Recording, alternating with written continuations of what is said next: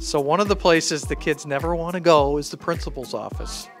But it's really not that scary. Let's go in and see what Mrs. Lancaster's up to on a Friday. So apparently, things have changed since I was a principal because uh, Mrs. Lancaster has just reminded me that uh, kids do enjoy coming to see the principal, correct? They do. In fact, I did a survey last week and asked what kinds of snacks they like because I restocked in here. And if you're in trouble, you don't get the snack. To, that's a common misconception.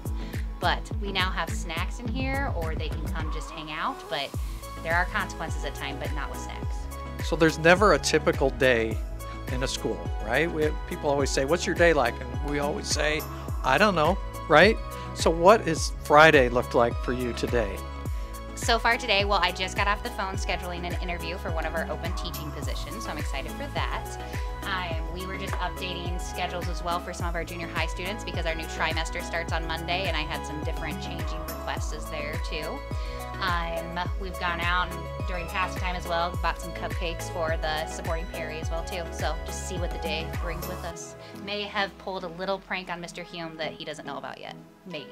So always something going on, and then behind the scenes, some of the things that people never see on a day like this when we have multiple staff out. What do we have to do to get through the day? Um, we bribe people and a little bit of prayer, and then um, we bring in extra snacks for the staff as well too to try and get them to help cover classes, which is never an issue here.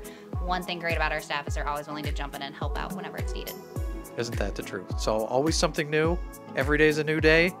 No matter what school you're at, we don't know what to expect, but we make the best of it. So thanks for joining me today.